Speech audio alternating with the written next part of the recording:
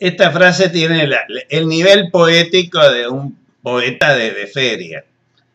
Dice, la alegría es un ave migratoria que habita entre amarguras. Oh, oh, es ridículo, eh, pero es así. Porque, ¿cómo se determina que estamos contentos? Por, por, el contraste con la amargura.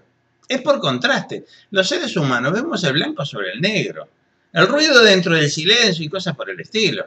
Entonces, esta forma un poco ridícula de decirlo es simplemente para llamar la atención de que en realidad la alegría, si no está entre dos amarguras, no se percibe, porque una persona que esté permanentemente alegre, como esos que se levantan de mañana, hoy sí que estoy feliz y deseo lo mismo para ustedes, mentira.